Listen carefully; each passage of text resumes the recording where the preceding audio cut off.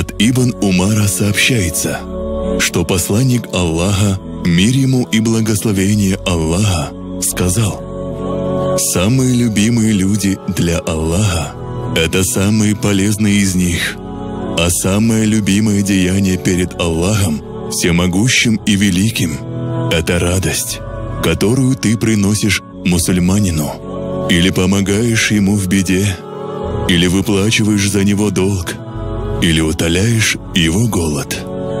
И поистине, прийти на помощь своему брату-мусульманину в том, в чем он нуждается, любимее для меня, чем совершить затворничество в мечети в течение месяца. А тот, кто сдержит гнев в отношении брата своего в исламе, тому Аллах прикроет его наготу, то есть скроет его недостатки и грехи, и тому, кто сдержит свой гнев в то время, когда он хотел излить его, Аллах наполнит его сердце довольством в судный день. И того, кто вышел помогать своему брату-мусульманину в его нужде, пока он не поможет ему, тому Аллах укрепит его стопы в тот день, когда стопы будут скользить. И поистине, дурной нрав портит деяние так же, как уксус портит мед.